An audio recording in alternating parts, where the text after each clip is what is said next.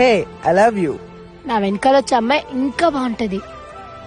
నీ వెనకాల ఎవరు రావట్లేదు కదా? నన్ను ట్రూగా లవ్ చేస్తే నువ్వు వెనకాలకు చూడవుగా.